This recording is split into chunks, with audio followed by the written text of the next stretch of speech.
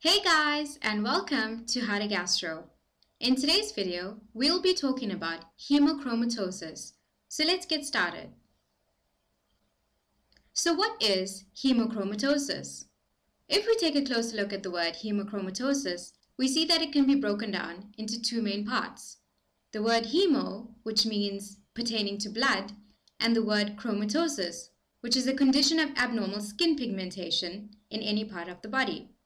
So the word hemochromatosis tells us two main points about the disease, in that the disease affects the blood in some way, and it also causes an abnormal skin pigmentation in the body.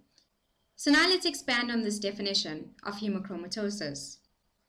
So hemochromatosis is a disease in which too much iron builds up in the body. Our bodies need iron, but too much of it becomes toxic to the cells in our body.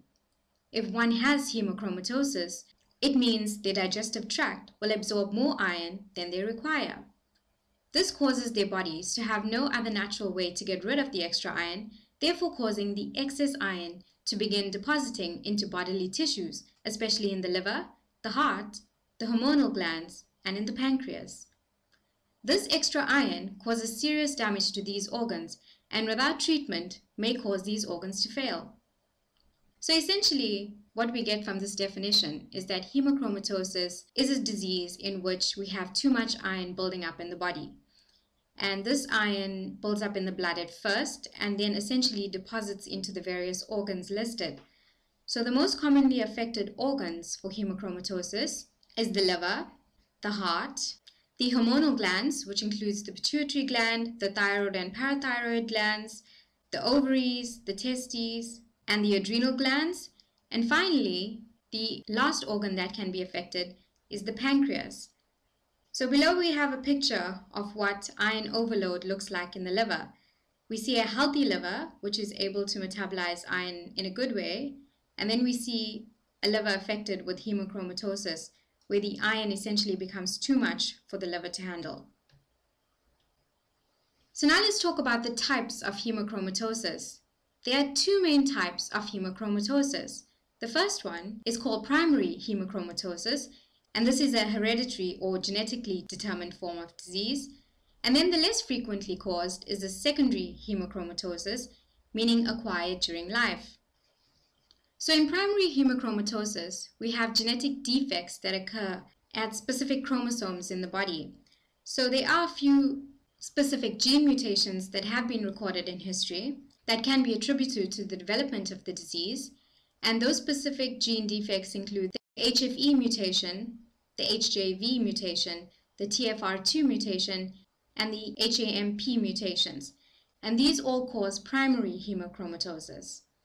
And then less frequently, we can have the secondary form of hemochromatosis, which is acquired during life. So this could mean an end stage of liver disease due to hepatitis or due to liver cancer or parasites in the liver, or it could also be due to chronic alcoholism, etc. So, this is how end stage liver disease can cause hemochromatosis. Other causes of secondary hemochromatosis include a blood transfusion, excess dietary intake of iron, and so forth. But we'll take a closer look at these now. So let's take a closer look at primary hemochromatosis. The overwhelming majority of hemochromatosis cases depend on mutations which occur in the HFE gene. The HFE gene was discovered in 1996 and was thought to be the only gene that was associated with the development of hemochromatosis. But since then, other genes have been discovered and sometimes are grouped together as the non-HFE related hereditary hemochromatosis cases. Most types of hereditary hemochromatosis have an autosomal recessive inheritance pattern, while type 4 has an autosomal dominant inheritance. So if you look at this table on my left, we see that primary hemochromatosis can be further subdivided into four main types. So type 1 is the classical form, and the mutation occurs in the HFE gene, and then we have type 2, which is also called juvenile hemochromatosis.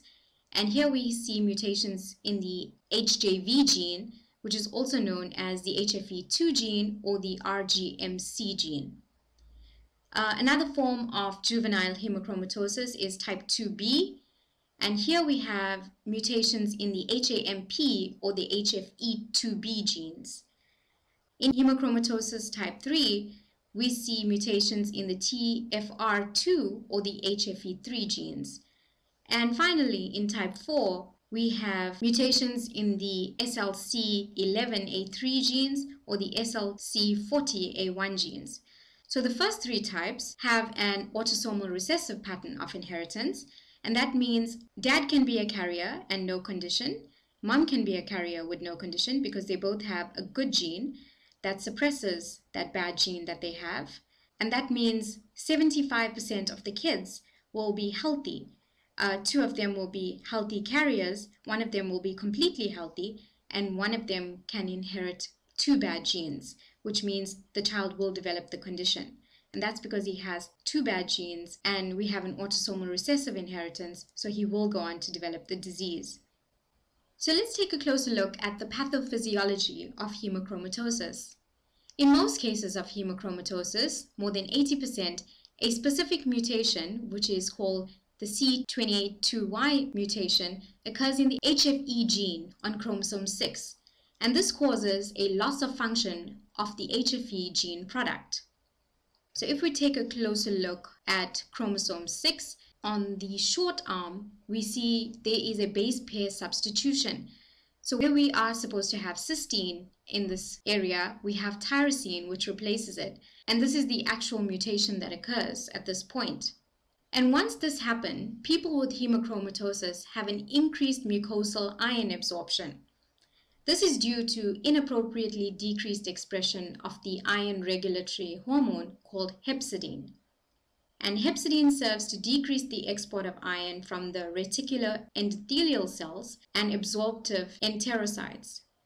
Thus, in patients with hemochromatosis, we observe an increased iron release from these cell types, elevated circulating iron, and the iron deposition in vulnerable tissues. So all that basically means is that once this mutation occurs on chromosome number 6, we have a decrease in the expression of the iron regulating hormone called hepcidin.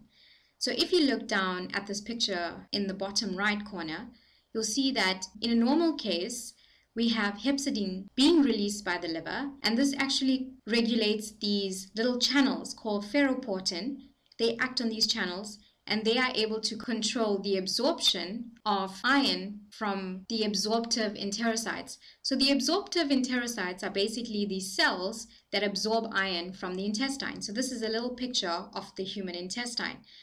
So when hepcidin is decreased, which is in this picture, this is an HFE related caused hemochromatosis, we see that the amount of hepcidin is decreased, therefore it can't act on these ferroportin channels. These ferroportin channels are basically gates for iron, and therefore the iron just sl keeps slipping through into the bloodstream. Eventually, we have too much iron in the blood and therefore too much iron in all the organs of the body. So, this hepcidin hormone is very important. And in patients who suffer from hemochromatosis, and who have this mutation in this gene called the HFE gene, we have a decreased production of hepcidin and therefore an increased absorption of iron from the enterocytes. So taking a closer look at secondary hemochromatosis, this is the one that's acquired during life. So the causes here, we have multiple frequent blood transfusions, either whole blood or just red blood cells, which is usually needed by patients with hereditary anemias, such as beta thalassemia major, sickle cell anemia, and Diamond-Blackfan anemia, or by older patients with severe acquired anemias such as myelodysplastic syndromes. So too many blood transfusions in patients with anemias could actually cause an iron overload in the body and lead to hemochromatosis. Another cause could be excess parenteral iron supplements, which can acutely cause an iron poisoning. We can also have an excess dietary iron intake, which is due to eating too many foods high in iron. So Examples of these are the beef spleen, the pork liver, clams, potatoes, beans and lentils, spinach, and fortified cereals. And the last cause of secondary hemochromatosis is chronic liver diseases, such as chronic hepatitis C infection, alcoholic liver disease, or even non-alcoholic steatohepatitis. So what are the signs and symptoms of hemochromatosis? Most patients with hemochromatosis will remain asymptomatic until they reach their middle ages. Female patients, however, generally develop symptoms before males. The first symptoms that patients may experience include joint pain due to arthritis, abdominal pain, fatigue, weakness, and vertigo. Later signs and symptoms of the disease may include diabetes, and this is due to damage to the pancreas due to the excess iron accumulating in the pancreas, and that can lead to diabetes. There can also be a loss of sex drive and impotence, and that is due to the excess of iron accumulation in those specific organs of the body that we mentioned earlier, such as the hormonal organs, the ovary, and the testes. So, this excess iron can lead to erectile dysfunction and impotence and loss of sex drive in men, and it can also lead to the absence of the menstrual cycle in women. Another later sign of hemochromatosis is heart failure, and this is due to the excess iron in the heart affecting the heart's ability to circulate enough blood for the body's needs, and this is called congestive heart failure. Hemochromatosis can also cause abnormal heart rhythms, and these are called arrhythmias. And finally, we have liver failure with hepatomegaly and a progression to liver cirrhosis, which is scarring of the liver. So, how can one diagnose hemochromatosis? The first step is a blood test, and there are two key tests we can use to detect iron overload in the blood.